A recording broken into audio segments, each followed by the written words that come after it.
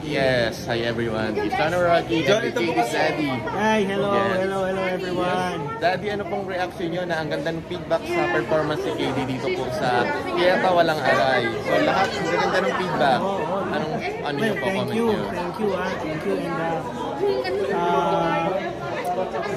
dito? Ang, uh, thank you do sa magandang feedback and uh, you know, Katie's been working hard Yeah. talaga sa rehearsals dito, talagang grabe.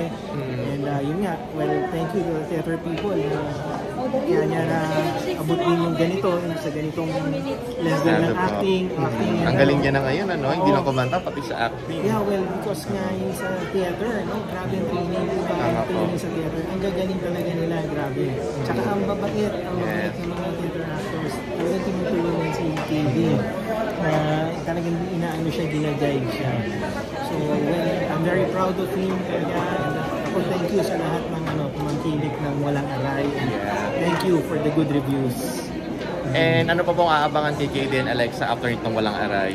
Ah, sa ngayon, hindi pa natin sabihin. Pero marami, di ba? Marami ng light. Eh, sana, Marami ng right oo, up. sana, oo, yes, oo, pero yun nga, abang na lang tayo, ah, yun, subaybayan nyo na lang po yung, ano, ah, yun yung career nila. na KD and Alexa.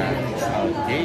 So, thank you po, Daddy, and congratulations. Excited kami kasi alam ang dami pang projects nila. Ah, thank you, thank you, thank you so much. Thank you for watching, ha? Thank you. Oo. Bye.